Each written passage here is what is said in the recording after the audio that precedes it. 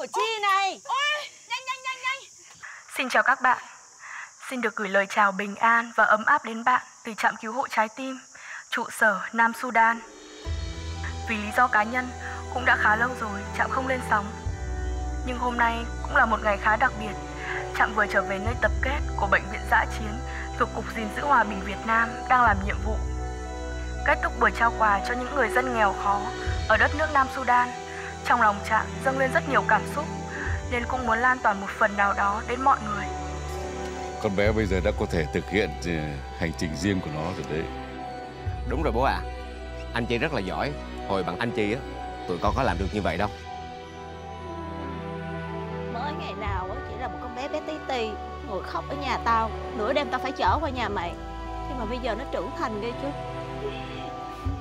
Thì bây giờ em cũng là bà mẹ ba con chị Như đã từng chia sẻ, hơn một năm nay, Trạm vinh dự được đứng trong hàng ngũ của các chiến sĩ mũ nổi xanh đang hoạt động tình nguyện tại Nam Sudan. Những ngày đầu đặt chân đến Nam Sudan, bản thân Trạm rất bất ngờ vì thời tiết quá độ khắc nghiệt, nắng đến cháy da cháy thịt. Nhưng trong chuyến về phép giữa đợt công tác, Trạm đã nhờ cô chú ông bà của Trạm chuẩn bị thêm những món quà để tặng cho người dân ở đây.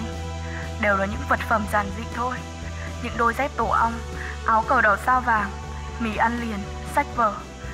Nhưng nó đã mang theo một tấm lòng thơm thảo, lá lành đùm lá sách của người dân Việt Nam đối với người dân Nam Sudan. Con bé giỏi quá. Nó cứ xuất sắc như bà Lan là được. Ôi. sướng nha, sướng nha. Sướng nha. Nói về những người thân của Trạm, các cô chú, ông bà của Trạm thì đó là những người thân yêu nhất của Trạm ở Việt Nam. Tuy không phải máu mủ ruột già, nhưng đó là những người đã kêu mang Trạm vào năm 12 tuổi, khi Trạm từng là một đứa trẻ mồ côi, để qua đó tái sinh cuộc đời của Trạm thêm một lần nữa.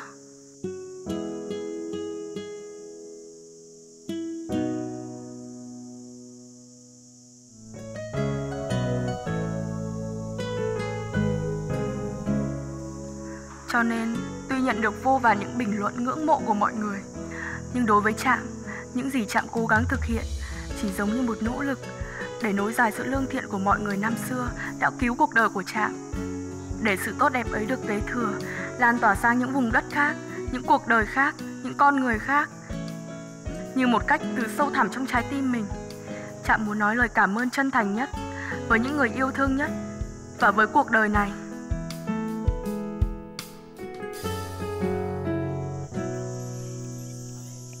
Đấy ngày xưa á gia đình mình mà không ra tay ấy rồi thế nào con bé này cũng bị cái đôi vợ chồng chú thím nhà nó hành hạ ấy. Rồi thế nào bây giờ cũng vất vưởng ở ngoài đường cho mà xem đúng không? Ôi, nhìn cái con bé này nó giỏi giang á Mà mình mát hết cả lòng lên được ấy. Này, công nhận là làm người tốt cũng cũng cũng thích thật nhờ cả nhà nhờ Công nhận Mẹ không? vợ mãi đỉnh. Đấy. Thôi bác ơi, cả nhà mình ơi, mình nhân liên đi. Đúng đúng đúng đúng đúng. Bọn